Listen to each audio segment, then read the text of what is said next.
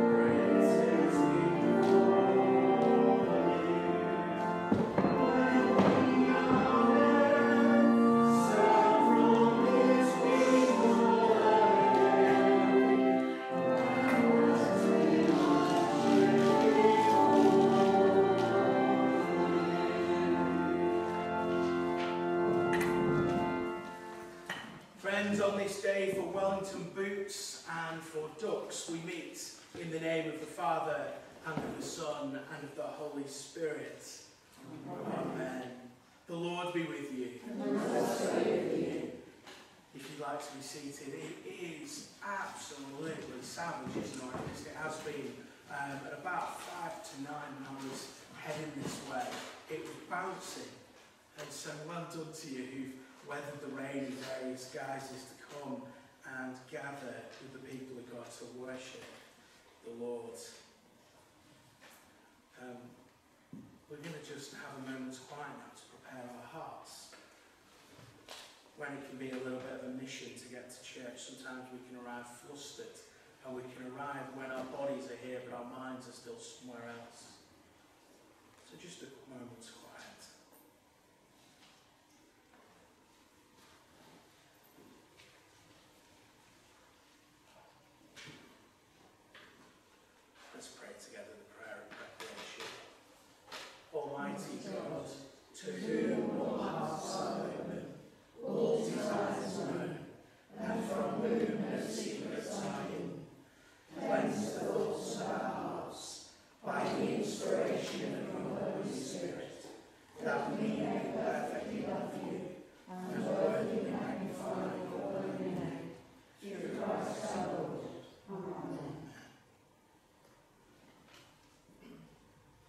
Shows his love for us in that while we were still sinners separated from him, Christ died for us. So let us then show our love for him by confessing our sins in penitence and faith. We pray together. Almighty God, our Heavenly Father, we have sinned against you and against our neighbour, in thought and word and deed, through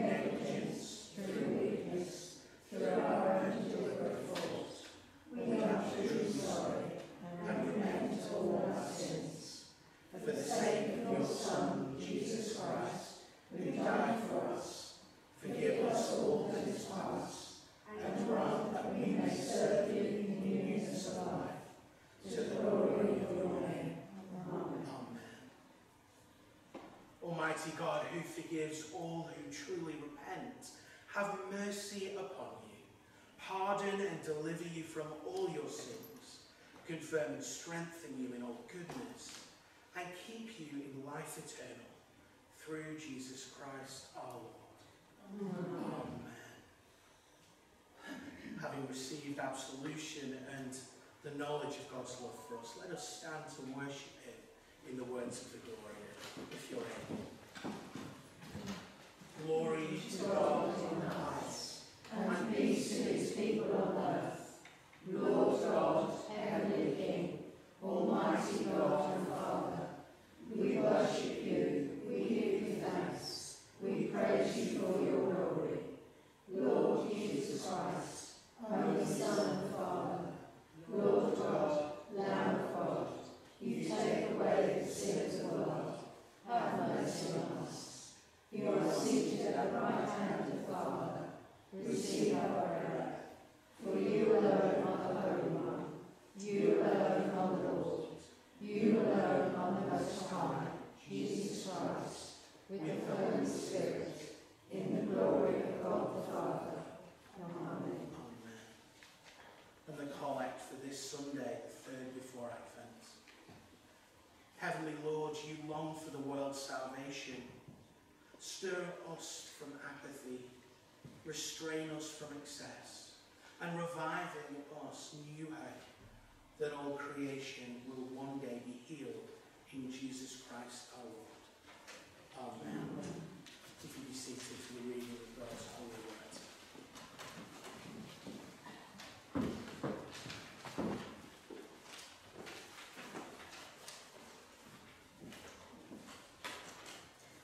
The first reading is taken from the book of Job, in chapter 19.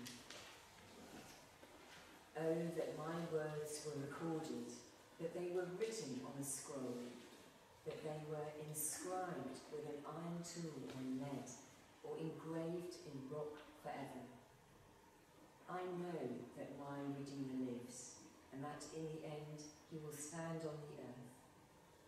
And after my skin has been destroyed, yet in my flesh I will see God. I myself will see with my own eyes. I and not another. How my heart yearns within me. This is the word of the Lord. Thanks be to God. And the Psalm is Psalm 17, reading verses uh, 1 to 9. Hear me, Lord, my plea is just. Listen to my cry.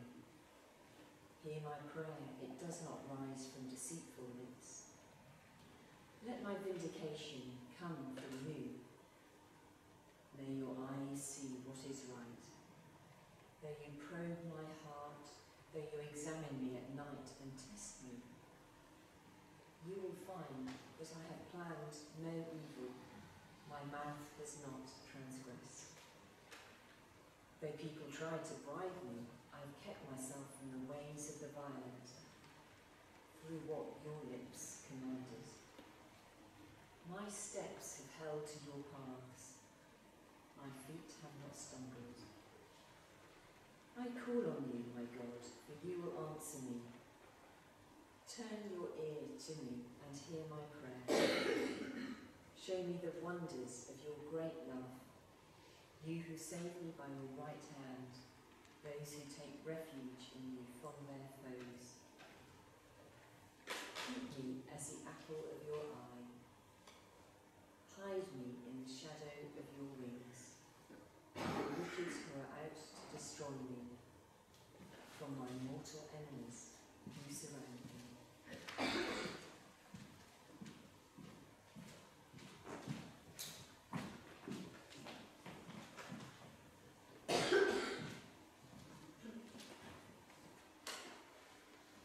A New Testament reading from Thessalonians, verses 1 to 1, 2 to 1, 5, 13 and 17.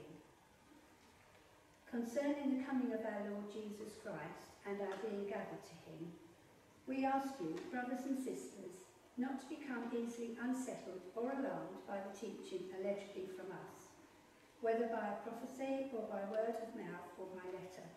asserting that the day of the Lord has already come. Don't let anyone deceive you in any way, for that day will not come until the rebellion occurs and the man of lawlessness is revealed, the man doomed to destruction.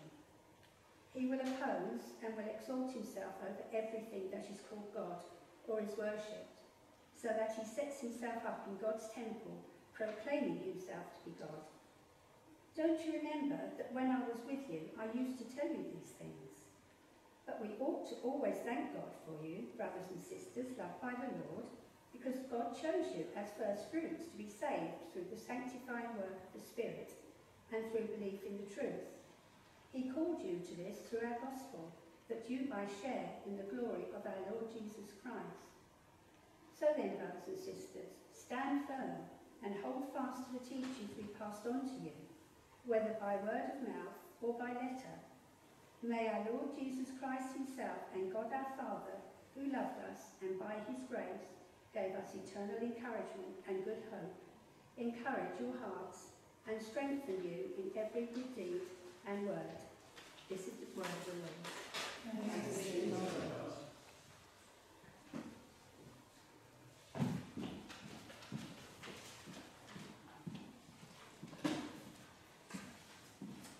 Please would you stand for the reading of Christ's Holy Gospel.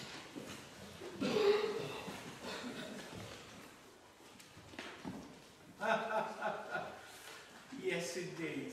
I've just had Andrew uh, giving a very, very big uh, wave from the back saying there's a hymn first. Yes, there is always a hymn before the Gospel. Uh, please let us stand and let us sing uh, first. What hymn number is it, Andrew? 98. All together now. Let's sing 98. hymn 98.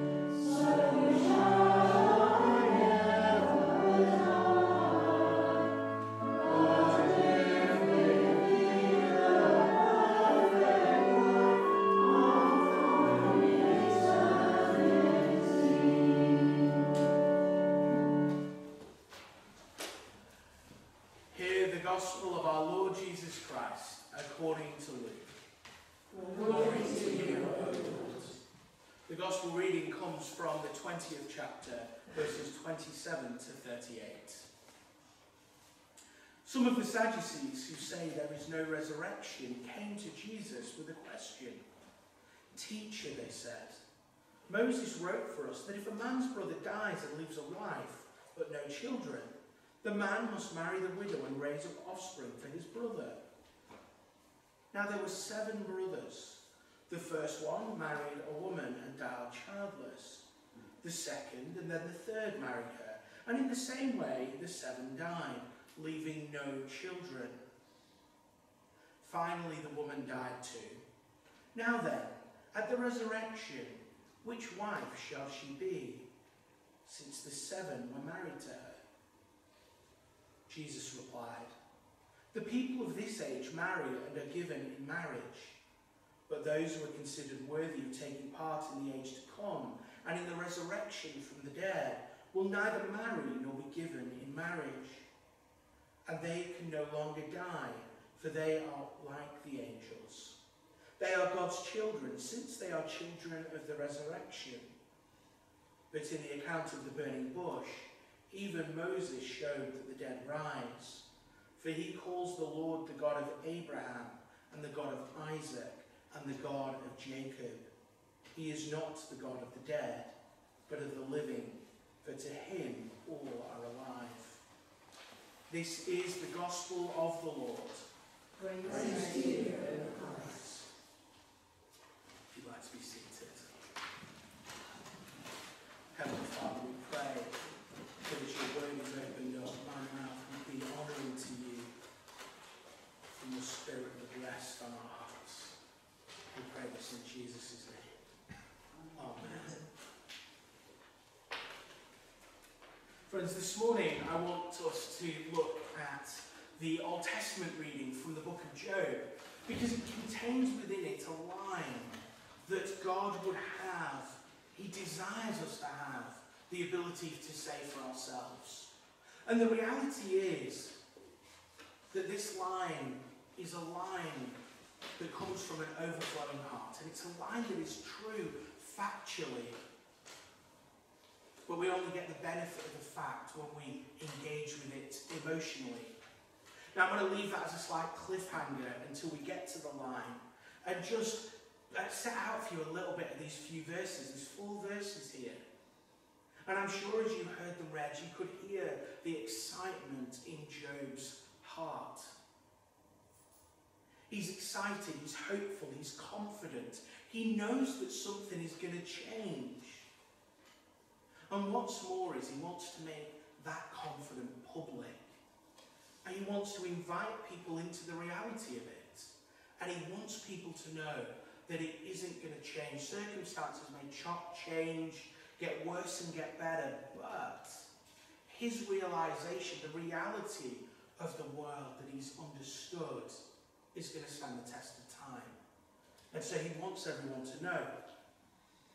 Now, I'm a 90s child, which means often when I read the Bible and I'm thinking about illustrations, my head goes to the TV series Friends.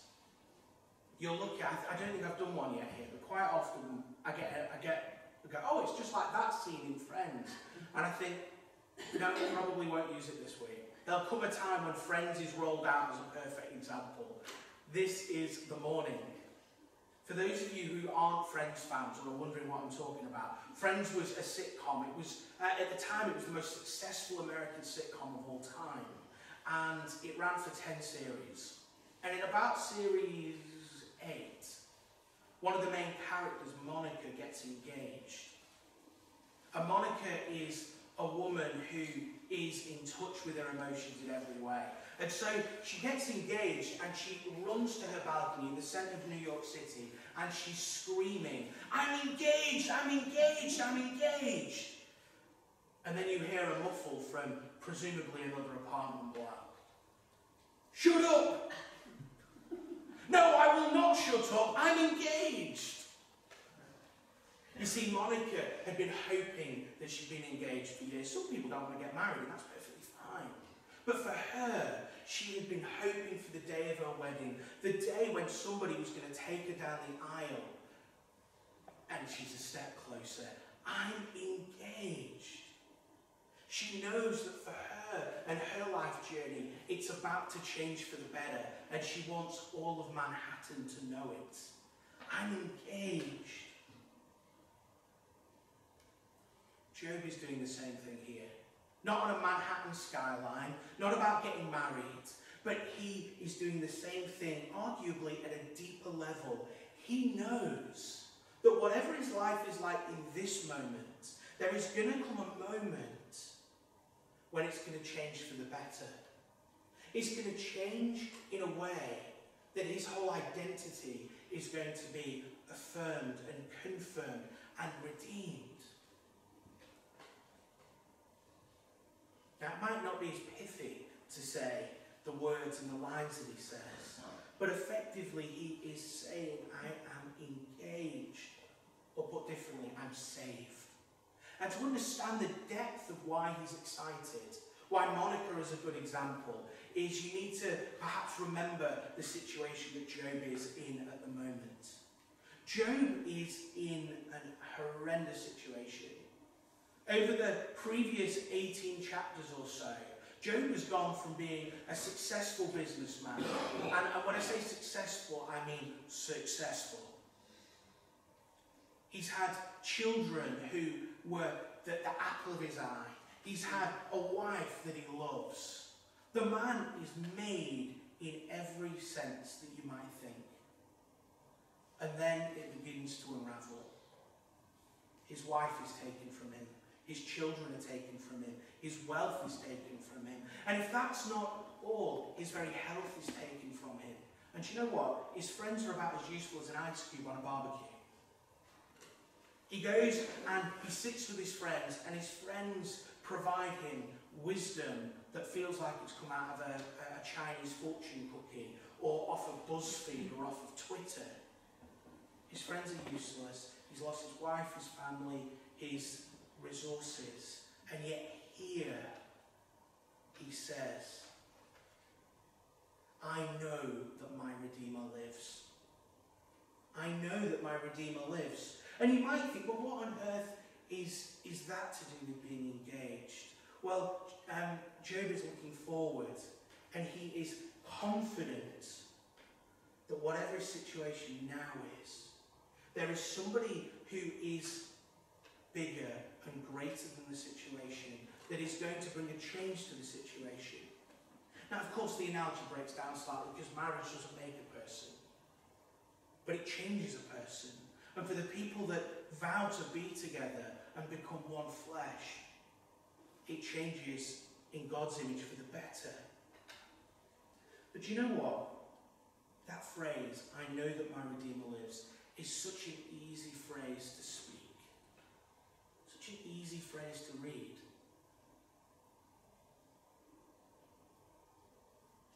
Very easy when we read the Bible to, to read it quickly or read past something and miss the fact that what is being spoken about is deep within the person that wrote it, emotionally connected. In these few words are words that Job thinks should last for eternity. I know my Redeemer lives. Five words that changes everything.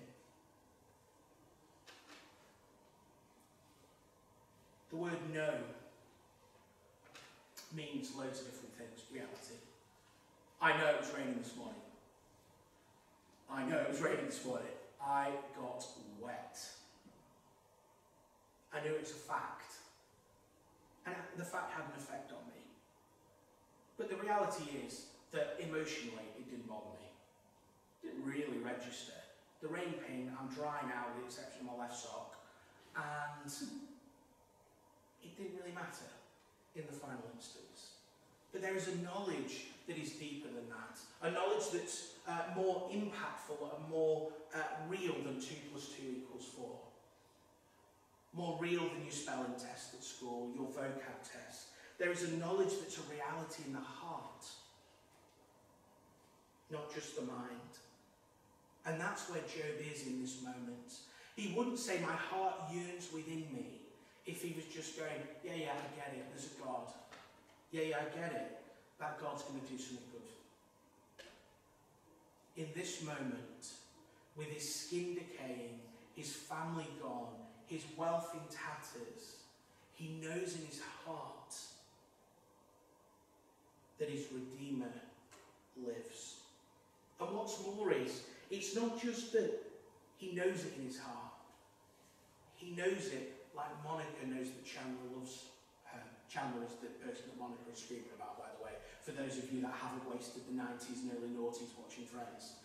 Um, Chandler was not getting engaged to somebody else. Chandler was getting engaged to Monica. As she was screaming, I'm engaged, she was also screaming, I, me, Monica, am loved. I, me, Monica am accepted by Chandler and seen As Job does the equivalent, he's saying, I know it in my heart that I, me, Job, or I, me, David, am accepted by a Redeemer. Now we're about two-thirds way through a sermon, you might be wondering what a Redeemer is and why he's so excited about it. A Redeemer is simply, uh, the only time I think I've used the word redeem now is when I'm redeeming a voucher or a coupon. I, I can't think of another reason or, or time we'd ever use it now. And it's so ridiculously transactional. You get to the checkout in Sainsbury's and you put your voucher down, you redeem the voucher, and you save whatever it is on milk. It's not, it's not, uh, unless you are proper counting your pennies, that's not an exciting moment. But a redeemer is something much more. It's somebody who defends a person, defends their cause, somebody that avenges the wrong, somebody that puts right with power at a price.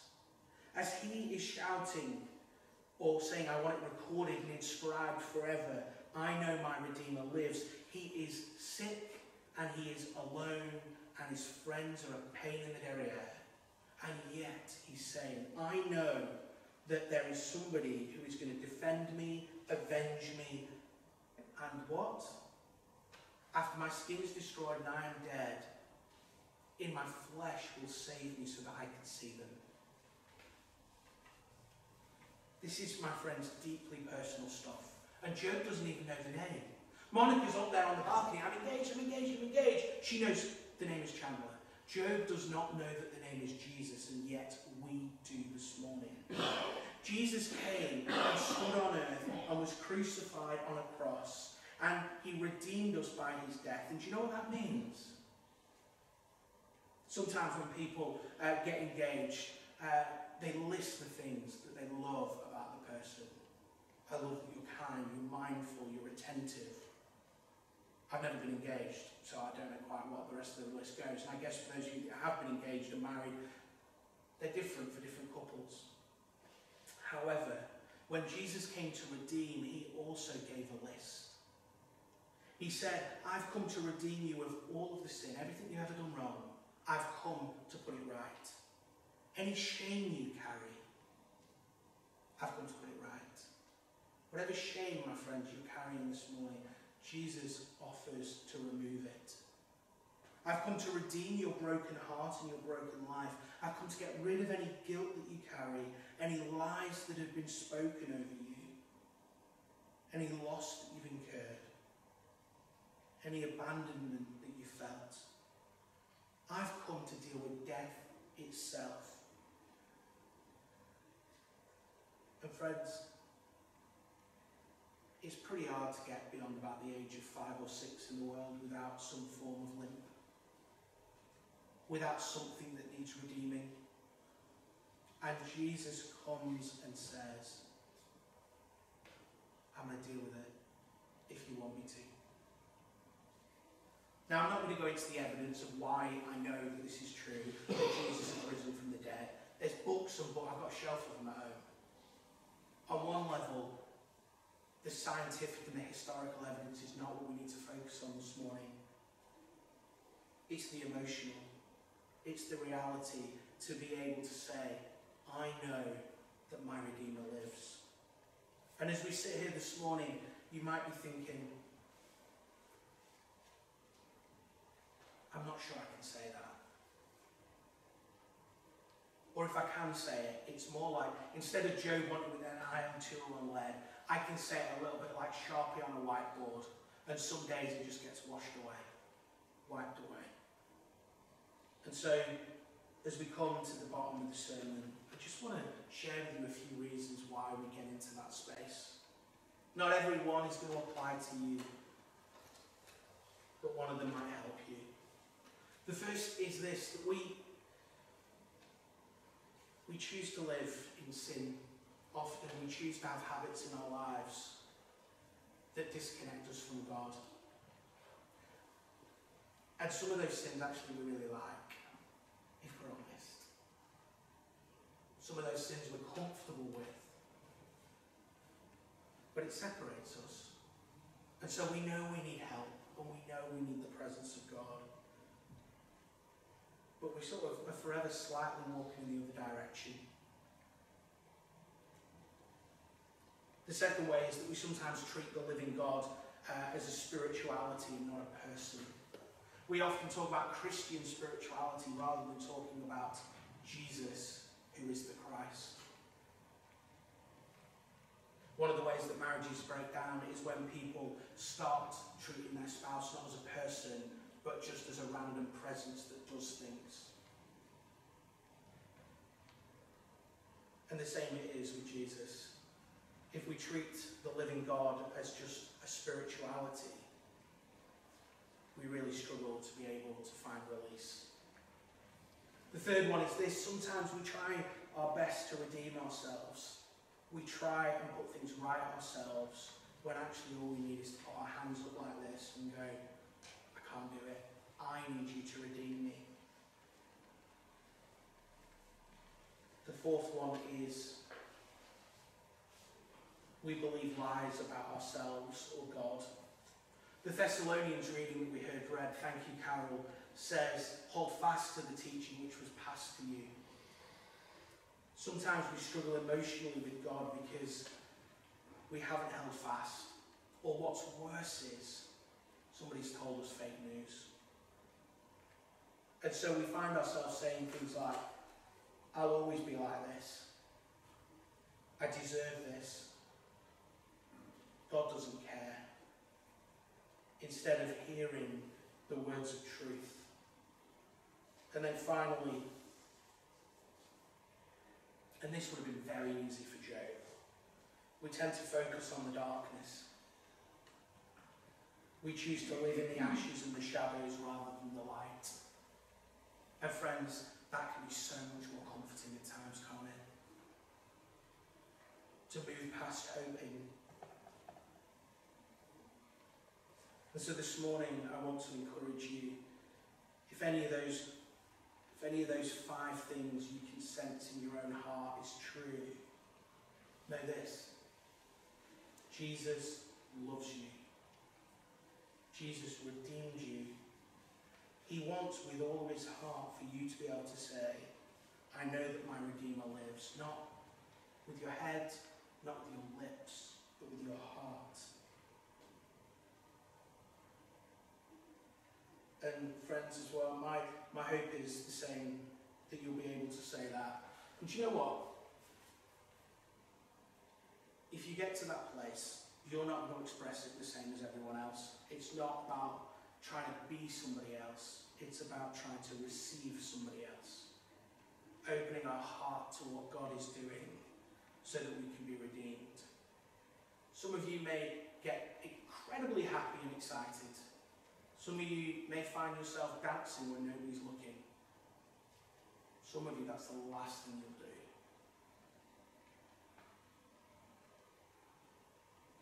One of you may even decide to stand on the corner and yell, I am engaged, I'm saved. Others of you might think, not a chance. Doesn't matter. Monica responded to her engagement is not the same way as I guess most of you responded to yours. It's not about being somebody else, but it is about meeting somebody else. Amen.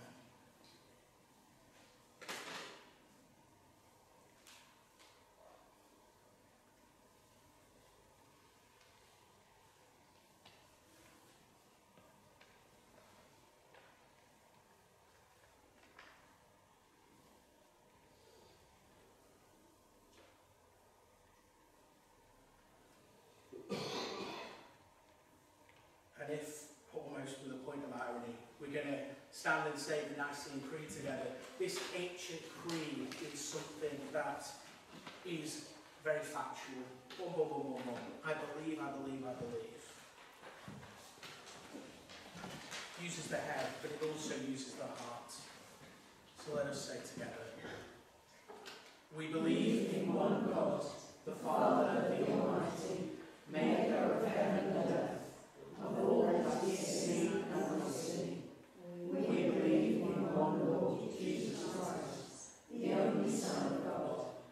eternally.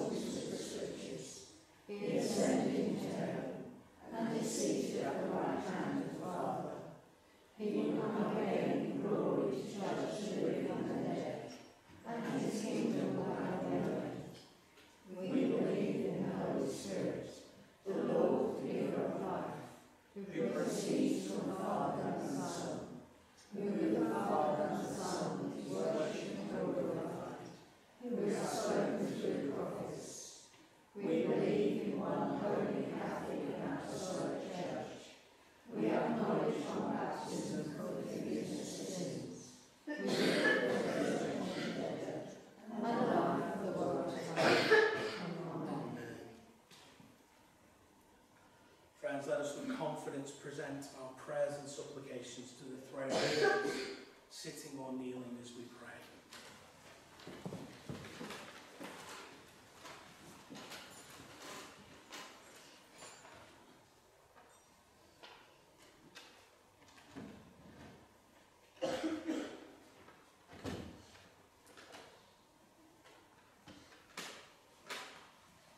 First pray for those who are sick in body, mind, or spirit. Heavenly Father, we pray for those who are like Job, their body failing them, their heart weary, their mind distracted and searching. Father, we pray that like Job, they would be able to say, I know that my Redeemer lives. We pray that you would bring them healing, comfort, closeness in their time of need. We give you thanks that you are a God who heals. And so we pray for those on our hearts now that you would bring healing.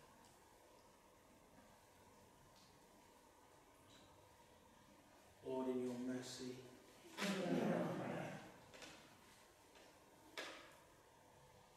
we pray for all those with the responsibility of handing on the faith.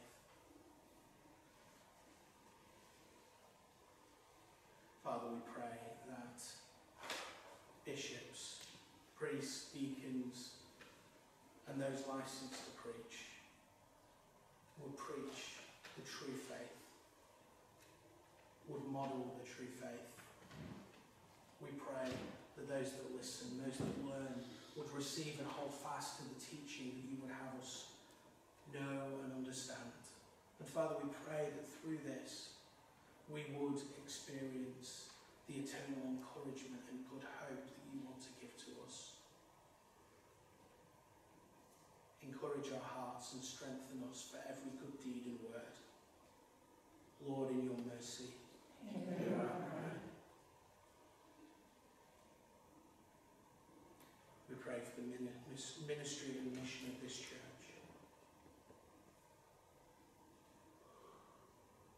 Heavenly Father, as we prayed in the collect, would you stir us from apathy and revive us to new hope? We pray that we would grow, that men, women, and children would come to know the truth and reality that Jesus is risen from the dead and brings healing to body, mind, and spirit. Father, may you be glorified in this church. Lord, in your mercy, hear our prayer. Merciful Father, Accept these prayers for the sake of your Son, our Saviour, Jesus Christ. Amen. Christ is our peace. He has reconciled us to God in one body by the cross. We meet in his name and share his peace. The peace of the Lord be always with you. And also with you. Let us offer one another a sign of Christ's peace.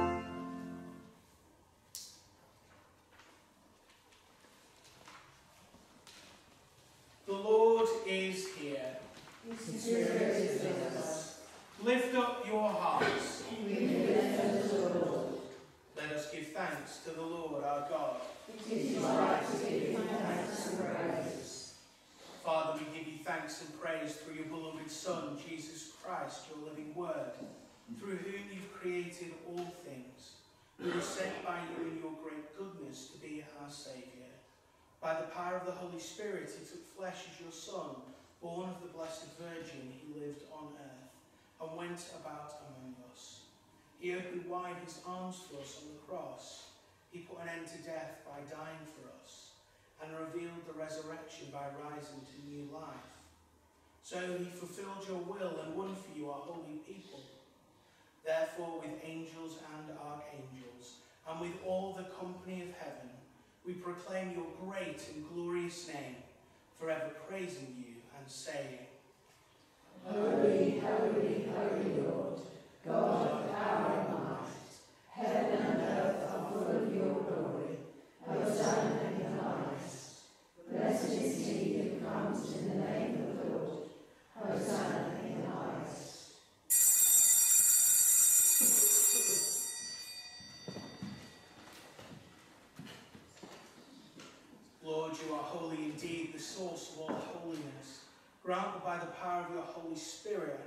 to your holy will, these gifts of bread and wine may be to us the body and blood of our Lord Jesus Christ, who in the same night that he was betrayed took bread and gave you thanks. He broke it and gave it to his disciples, saying, Take, eat. This is my body, which is given for you. Do this in remembrance of me.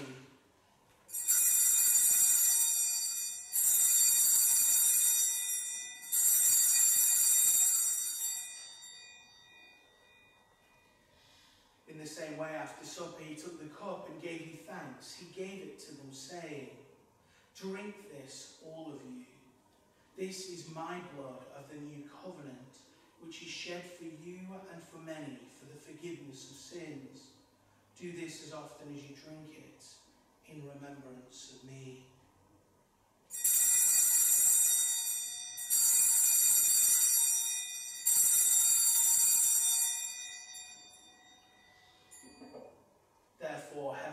Father, we remember his offering of himself made once for all upon the cross.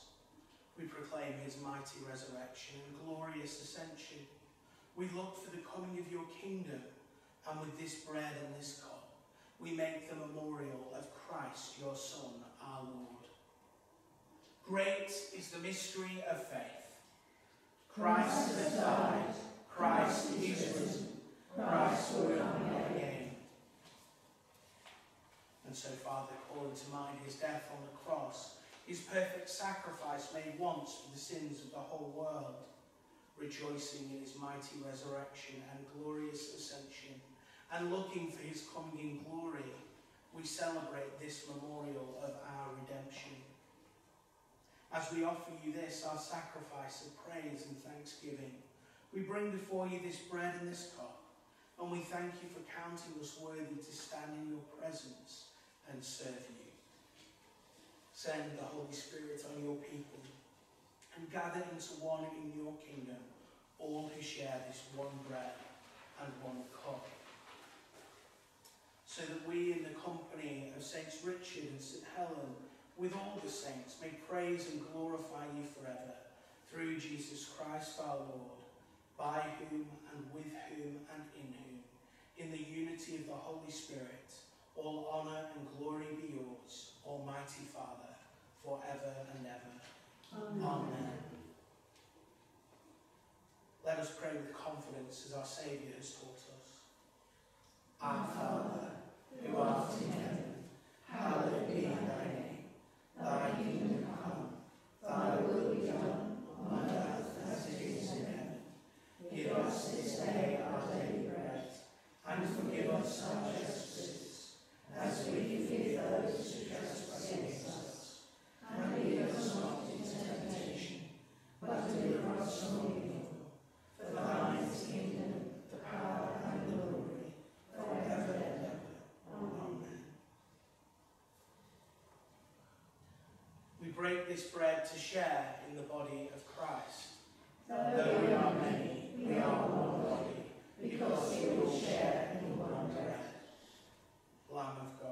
You take away the sins of the world. Have mercy on us. Lamb of God, you take away the sins of the world. Have mercy on us. Lamb of God, you take away the sins of the world. Grant us peace. Jesus is the Lamb of God who takes away the sin of the world. Blessed are those who are called to his supper. Lord, I am not worthy to receive say the word, and I shall be healed. So draw near with faith. Receive the body of our Lord Jesus Christ, which he gave for you, and his blood, which he shed for you. Eat and drink in remembrance that he died for you, and feed on him in your hearts by faith with thanksgiving. If you're here this morning and you're still on that journey of faith, or you've not been baptized yet, please do come forward. Bring your service sheet with you. It'd be my pleasure to pray a prayer of blessing with you. If you want to come forward now.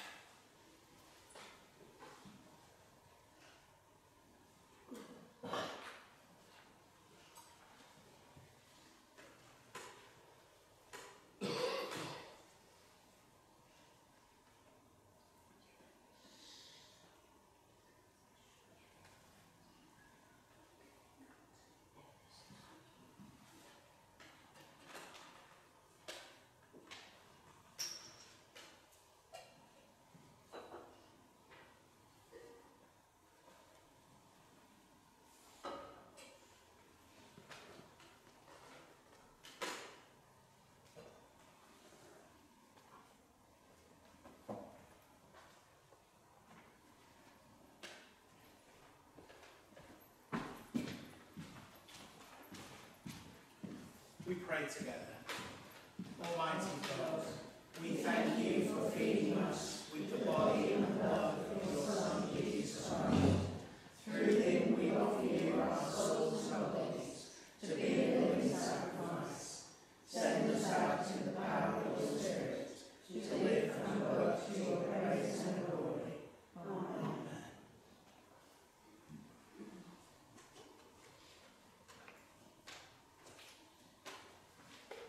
A few notices before we have our final hymn. Uh, The first one is uh, a reminder for those of you who've yet um, to decide whether you're going to come to the Coastline Harmony on Friday the 2nd of December. Uh, there's information on the back of your notice sheet. Effectively, it's a great evening of uh, good music, Handel song, poetry and readings with um, the seasonally obligatory mulled wine and mince pies. Uh, that's at St Helens and if you are interested in getting a ticket, um, you can speak to our very own Christine James. And uh, if you're interested in supporting it, beyond that, um, we're going to be having a raffle with prizes. And so if you're able to volunteer either to serve the refreshments or donate a raffle prize, have a word with Christine. Um, onto, and then uh, onto a couple of thank yous. uh, Mini Adventures has thanked us for the donations that we gave a couple of weeks ago. Um, the food's already being used, it's really needed. And so thank you very much for those who donated to bless the families of Mini Adventures. Thank you too um, to those who sponsored Christine and Kath. Um, along with gift aid, lumped in together they raised a whopping £450 for family support. Yeah, exactly, yeah, absolutely. So I think let's, let's, come on. Ladies, well done to you. I know family support will be thrilled with that. Um, and then finally, with family support work, there are some cards that Anne has been able to bring back. I just bought some this morning.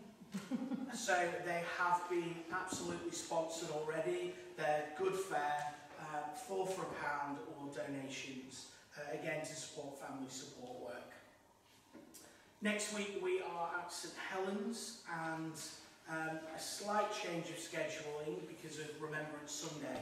There's going to be a nine o'clock said Eucharist, so we'll be celebrating the Lord's Supper at nine o'clock without music, and then 10 o'clock is going to be the Remembrance Sunday service. So if you are, well, frankly, if you wake and you forget, there will still be a service at 10 o'clock. So um, 9 o'clock is a said Eucharist and Remembrance Sunday service at 10 o'clock with, with music. There's evening worship tonight at 4 o'clock um, as well this week and next at St Helens, a place to sort of quietly reflect and pray on the day that's been had. Oh, I forgot, there is some very good news. Both ends, we have been in flux a little bit when it comes to buildings as a church for uh, a few months now. At this end, we've had um, the vestry has been, uh, I think it initially had a leak, and the vestry has been uh, sorted, and we're now putting it back together. Thank you very much, uh, Pat and Kath, for um, putting us back together at this end. Uh, at the other end, at St Helens, there is uh, the lights have been finally done. So I know, um, well, I'm relieved, and so uh, I'm sure many of you are. So when you go in next, you'll see that the lights are um, on. as simple as that. I know it's not church related, but can I just say my son got engaged in October? There you go. Fantastic. Well, that, that's much to celebrate, especially given the illustration this morning. Um, she, it's, it's Kieran Taylor, isn't it? Kieran. Should we pray for them? Heavenly Father, we give you thanks for your love. We give you thanks for the joys that come with engagements. We pray for Kieran Taylor as they begin to plan a life committed to one another. We pray that you would bless them richly in Jesus' name. Amen. And it's in Central Park in New York. Oh yes, so actually yes, Um, it's very opposite. So it wasn't on a balcony someone was screaming, No.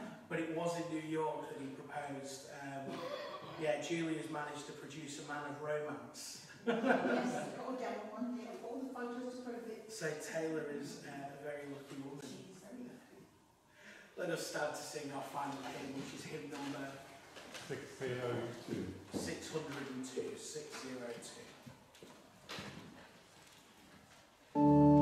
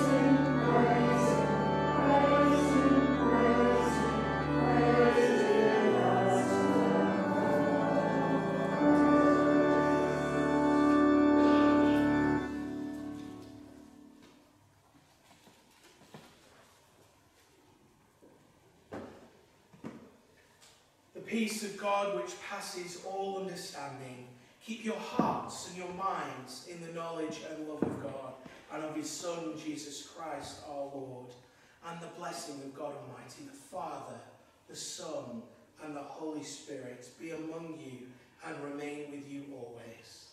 Amen. Your Redeemer lives. So go in peace to love and serve the Lord. In the name of Christ. Amen.